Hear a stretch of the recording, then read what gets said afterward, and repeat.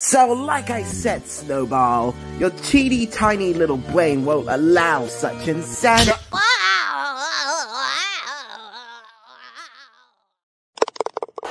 Hole in one!